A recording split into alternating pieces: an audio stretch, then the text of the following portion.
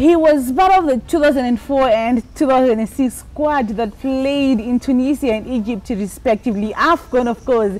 He is also our Highlanders and Platinum Stars SA boy. I have to buy Joe Luphahla right here, right now on Living Legends, proudly brought to you by Proton Bakers from Marondera Pound on 250 grams, 500 grams, 1 kg as well as 2 kg. And guess what? Kanwanzo Kanzara, you can always find them in any retail shop that is available near you. TM Okay, and Ian Richards, Marambore Akazara Mashelves. And thanks so much to Indigo Interior for these beautiful couches we're sitting on right now. Thank you so much. And this beautiful dress I'm in right now, it's Cecilia. Thank you, thank you so much. Today I have Dubai. To all the Highlanders fans, yes, I have a guy in the studio. Good to see you, Mr. Joe. Thank you so much. Dubai, so actually.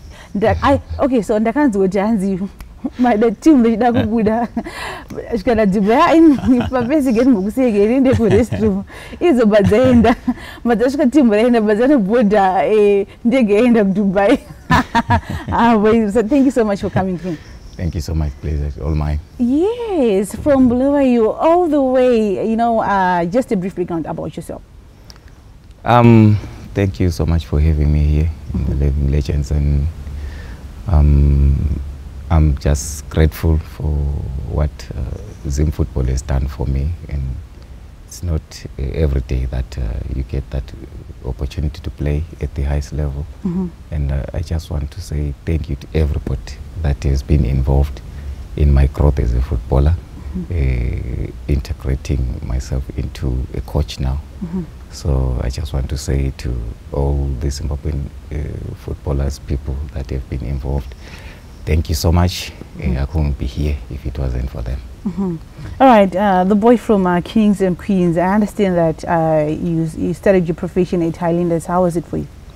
Uh, it wasn't easy. It's been a very, very difficult uh, journey. You know, for one to make it as a footballer, it takes a lot. Mm -hmm. So coming from Tsholotsho, mm -hmm. the rural areas, it was going to be difficult because I came to Highlanders uh, in 1997, Mm. uh, having been seen by Matinda and Lofu and Raman Kumbu Mm. when they were going to Cholocho to sell uh, their cabbages there. Then they just happened to come and watch a football match uh, by the uh, the shopping center, and they saw me and they invited me to come to to Bulawayo. Mm. Uh, I went there, I trained for a week and I ran away because uh, the other senior players, they were giving me a stick, you know, saying, ah, this guy from Kumusha and stuff like that. So it, it became difficult for me. Mm -hmm. And uh, I ran away, I went to join Zimbabwe Saints. and I played there for, for three months. And uh, the manager then, Ernest Maphepha, he came back, he came to my dad and he spoke to my dad and said, no, uh, we need the boy to come back to Highlanders, and uh, that's when I went back, and uh, the rest, you know, is who I am now, and mm -hmm. I'm just grateful also to Highlanders for what they did for me as a footballer, as a father, and now a coach. Everything we give credit to them, but it's been very, very difficult to play for Highlanders because those fans are not easy mm -hmm. uh, to to please. So for me, uh, the two years, two and a half years that I played there, I'm just happy to say that uh, for all the games that I played, I think I, I gave my best. Mm -hmm. There's not even one game that I will say I was below par, and I was lucky for that. And after that, that's when I, I went to Cyprus mm -hmm. to play there for five years and uh, I also had a very, very good career there. And uh, I'm sure now if you go to Cyprus, once you pu put out your passport, Zimbabwean passport, they will always ask you about myself and Zenzo Moyo. Uh, we left a mark there. Uh, we legends there, which is very, very good. It and uh, I'm happy. Uh, for my career as a footballer, I've got no regrets. Mm um, having played in Cyprus for five years, I then started missing my mom. Mm. And because I had left uh, for, for Europe when I was very young, So I started missing my my family, my mom. Then I had to come back and play closer to home. That's when I joined SuperSport uh, in, in South Africa, and I played for two years before I moved to Platinum Stars, where I stayed for four years. How was it for you at Platinum Stars in SA? No, it was beautiful. Uh, it's good sometimes to play for a coach who believes in you. I was at Supersport for, for two years, and mm -hmm. Owen Takama he came for me. Mm -hmm. Uh, we had to we had to swap one of his best players, uh, Katlego Masheko. Then uh, the guy went on to play for for Mamelodi Sundowns, so we had to swap him for me. Mm Uh, uh, so that made it easy for me because playing for a coach who needs you, believes in you, it makes things easy. Mm -hmm. But I had a very, very good career. The, uh, everything was fine. Unfortunately, uh, you know, in football, sometimes uh, injuries can strike any time. So I broke my leg uh, whilst I was still enjoying my football. And I remember it uh, already uh, made a contact with Kaiser Chiefs. I was supposed to, to sign for them the following season. So unfortunately in April I broke my leg and it was uh, the turn of everything. Nice. Um, so now I'm talking to uh, the tallest midfielder, Dubai. Do you have a greatest opponent that you fear the most during your days? Um, uh, for maybe in the national team with, uh, you know, when we played with so many, many great players, uh, I was lucky also to have played with those big, uh, big uh, players that I see some of them now doing well as coaches, uh, some of them being legends. Uh, I, I think uh, Rigobert Song for Cameroon was the most difficult defender for me I because remember the, guy was very rough. yeah, he was very he was a very very difficult defender. And locally, I would say James Matola for me was difficult, whether at club level or national team at training. Ah, that guy will always stick to you. You you won't even do whatever you want to do. Mm -hmm. Uh, I I I used speed during my playing days, but yet uh, this timing that you couldn't even leave him behind. Mm -hmm. Every time I try to do my tricks, you always be there. so yeah, that was the most difficult defender for me locally. And like I said, uh, when we were playing in the national team, mm -hmm. Rico Song for me was also Nice, nice. I have the most calmest and tallest midfielder from the dream team, Joel Luphahla Dubai, right here on Living Legends. Do not go away because we'll be right back after this short break.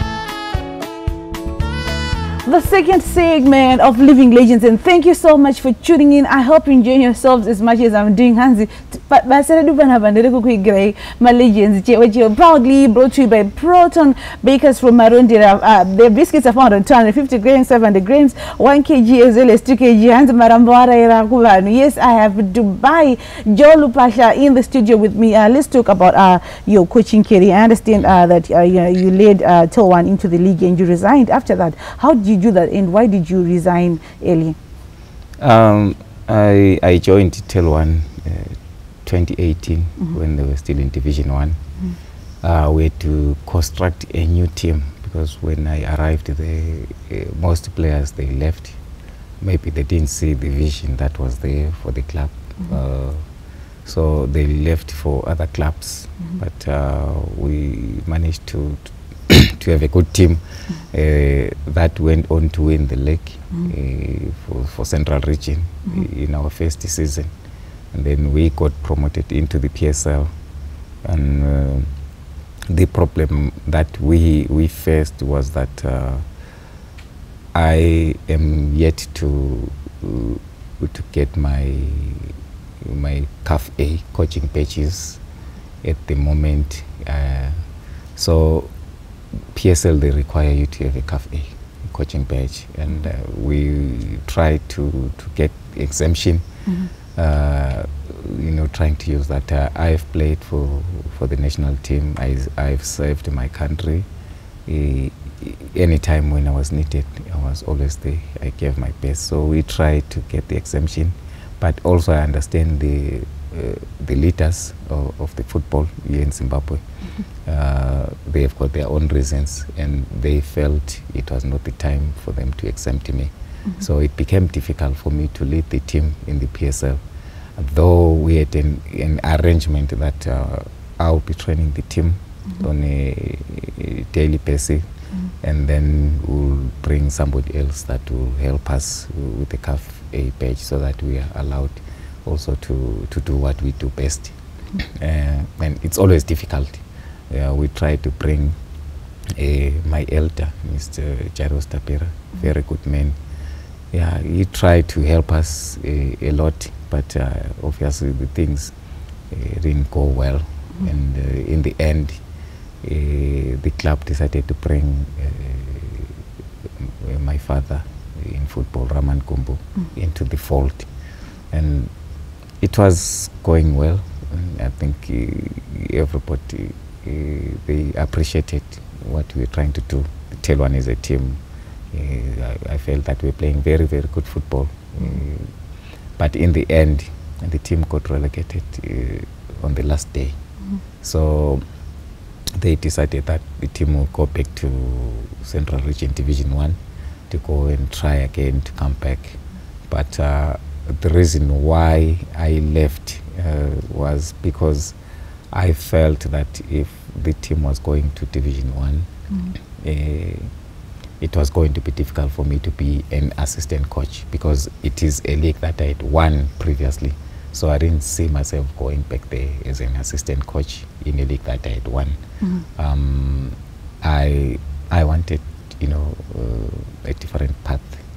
That's why I had to ask from from my bosses uh, that uh, I know I, I, I'm a TelOne uh, son. I, TelOne is always been uh, developed as a family team. So I had to ask them maybe if I can, you know, find somewhere where I can still uh, practice as a head coach. And um, I'm glad that I got an opportunity from uh, Golden Eagles. Uh, they called me uh, for a meeting. I, I came, we sat down. I wanted to understand uh, where they wanted to, you know, to take their team from where it is to where we want where? it to be. Yeah, and their project really, really was exciting for me, and also being owned by young, young uh, guys who understands football, and I felt that they understood myself, my philosophy. So I made that decision to to leave TelOne. Not that I left uh, in bad taste. No, I asked uh, from my bosses that if they could, you know, give me that opportunity to, to try something else. Yeah, so I left on good terms. We're still on good terms with everybody there. We talk, uh, we help each other, and yeah, football is like that. You, when another door is shut, another one is, Is opening. open, yeah. Mhm. because this is what has always been uh, my life. Yeah. All right, so we talk about now. You um, it's when you left for Golden. Um, Eagles. yeah, yeah. Tell me about it. Um, it's a very, very exciting project for me. Mhm. Uh, and I'm not going to elaborate much Mhm. about, uh, about that because uh, at the moment uh, there are other things that are still being, you know, ironed out, yeah, that are in progress. But Mhm. it's a very, very exciting uh, team that I think in the next uh, coming years people will be talking about it. And I know uh, we're talking today, but uh, somebody that's watching now, they'll be talking about this team. All right, so Yeah. um, I, I, so, so I have the directors on my neck now. Yes, I have uh, Joel Luphahla, righty on Living Legends. Stay with us.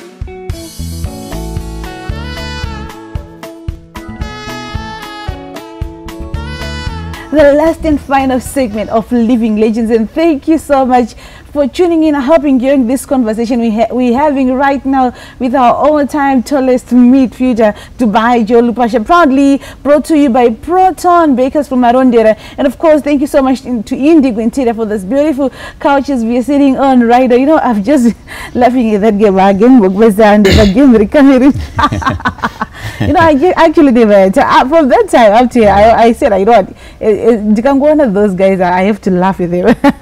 How was that game for you anyway? Uh, you know, the build up to that match was was for for us because mm -hmm. I think I, I was still young mm -hmm. and most of the players they were still young. Uh, we were looking up to to the guys like uh, our influential captain Peter Ndlovu mm -hmm. the Gay twins, Archie Sau. Mm. Those are the guys that we're looking up to. But uh, the thing is, uh, we were supposed to be playing in the starting 11. Uh, I remember myself, uh, Tinashe Ngomashi, Esrom Nyandoro. yeah. Yeah, so it, it, was really, really something that was, you know, it was worrisome, mm -hmm. you know, that I'm going to play and some of these guys that we look up to, they, they, they are on the bench. But uh, mm -hmm. because we had lost to Egypt to one the, the first game, so uh, Mhofu had to change the team because mm -hmm. the, the, first game I was on the bench, the mm -hmm. second game I had to start. And coming into that match, you know, is an unknown. Uh, for us, it was an advantage, especially for me, it was an advantage because nobody knew about me. mm -hmm. And uh, I, I think for me, that was one of my best games that I played for the national team because I even vakamanya. yeah, vakamanya a lot. I remember Rico Pet was saying to Peter, Peter, who is this? Who is this skinny boy? He's, he's becoming a nuisance. uh, the next, the next, the next ball that's coming, I'm going to sit on his neck, and he did that when, when it came. Uh, oh, uh, that was that day was. But, but anyway, that's uh, that's uh, the profession for you. Yeah. All right. So we, we come back to you as as a legend who's mm, has been there during the old times and still now coaching. Yes. Uh, you know, our football in Zimbabwe is not the same anymore. We talk of uh, the Fabish times and the current times. What do you think must be done in terms of improving uh, the football industry? Uh, I think uh, what I will just say now is uh, we I think we need to appeal to, to our sports minister uh, for development because now the development is no longer there. We need to develop football at grassroots. We need to develop football at schools. We need a lot of help, a, lot of help. And I'm thinking that uh, what needs to be done is, you know, to put the people that have got knowledge yeah, into these structures of development. But now the problem is in development, they, there is nothing, you know, there is no money mm -hmm. uh, for these guys that will be doing the development. Mm -hmm. That's why all these people that have got knowledge about football, they want to coach in the PSL teams because they can get something. But if money can be channeled into development to pay those people, I think our football can improve. Mm -hmm. yeah. All right, so uh, I just just a general question: Who do you miss the most, and who do you say you as my greatest partner in the game?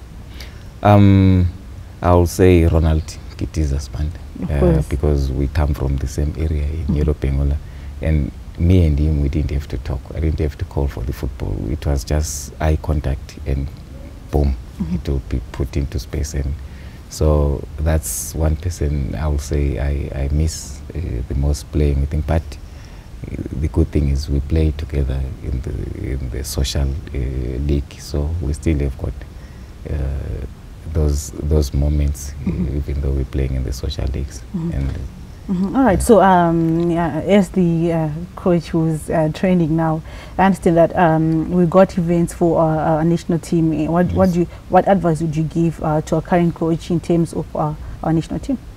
No, to the new coach, I'll just say uh, it is good that uh, he, he, understands uh, the culture of, of our football, and also he needs to to, to you know, to, to surround himself with good people that are going to help him mm -hmm. with the knowledge of our, our, footballers, our current footballers that are playing now. Mm -hmm. So that uh, because we've got no time next month, we, we are playing, maybe, I think, versus Algeria. Mm -hmm. So we will need a lot, a lot of knowledge mm-hmm. given to him and positive knowledge given to him. That, that's all that I can Any say. any formation advice that you say, I put this person on this, put Nigi up. Nah, it's difficult to say he's, he's, a coach he's coming in with his uh, own philosophy, Mm -hmm. but uh, what is Zimbabwe without uh, knowledge and karma, Without and karma. Nakamba? Mm -hmm. It can never be a national team, current national team. Mm -hmm. So I think those are the backbones of the Mhm. team that will, will make uh, the team maybe versus Algeria. All right, so um, just a quick one. Um, uh, what would you want to say to the rest of the Zimbabweans who loved and still love Joe Luphahla? Any parting words to them?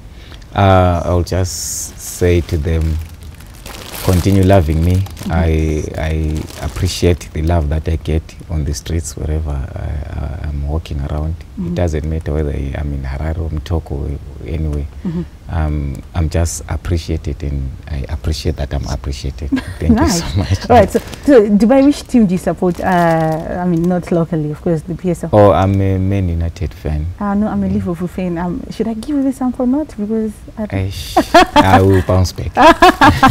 no, you have to come and join us. Of course, every legend must be a Liverpool fan. All right, but thank you so much for coming through. This is from Proton. They say, I'll go and give our legends. Uh, Joel Pasha this vano no chachiko chanega chiboro marambo no mazere. Uh, thank you so much. Thank you so much to Proton. And thank you so much for your time. Right, thank you so much for coming. That was Dubai, Joel Luphahla, right here, right now on Living Legends. To all the football fans, of course, I brought you your legend. In Indada Kwena, but do not despair because next week I'm back again, same time, same place. So if you have views and comments or you Think you're Living Legend, do not hesitate and do not even worry. Feel free to contact us on the number that is appearing on our screen right now. So from myself, Maslin Wekobonda Makara, our proud uh, sponsors, Proton Bakers from Marondera, and of course the beautiful couches from Indigo Interior. And see, thank you so much for this beautiful dress I am in right now. The technical crew that has been running around to make sure this show comes out well. See you next week.